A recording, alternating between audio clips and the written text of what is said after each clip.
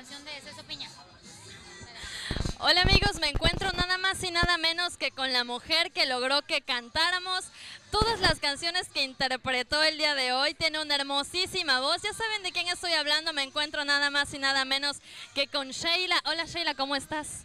Muy contenta, muy cansada, pero muy feliz de estar aquí en Cavada. Nos da muchísimo gusto tenerte aquí en Ángel R. Cavada. Sinceramente, espero y en representación de todo mi pueblo que nos vuelvas a visitar por nos- porque nos encantó tu show. ¿Qué opinas de, de nuestra gente? ¿Te aplaudieron? ¿Qué tal? Ay, mi reina, pues yo qué te puedo decir, contenta yo siempre de la gente eh, de Veracruz en general, de todo el estado, siempre me he llevado mucho cariño, es gente que, que admiro y que quiero muchísimo.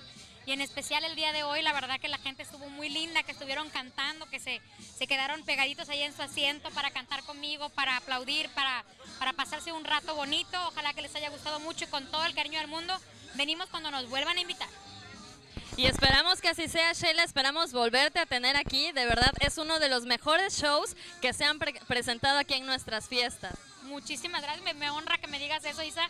Gracias por, por decirme palabras tan bellas. Y pues, ¿qué te puedo decir? Uno hace lo, lo que, lo que más le gusta. Yo con todo el cariño del mundo vine a ofrecerles mi show. Ojalá que de verdad les haya gustado, que queden complacidos, que el día de mañana y todo lo que siga de la semana, ¿no? Lo que empieza la semana que entra, sigan hablando de este show y que la gente lo, lo, lo siga apreciando, ¿no?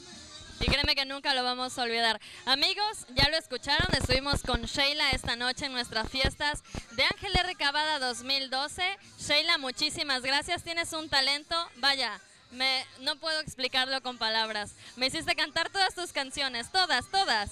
Amigos, Mundo TV Multimedios, yo soy Isa Macondo y en cámara Antonio Hueto Gómez. Nos vemos hasta la próxima.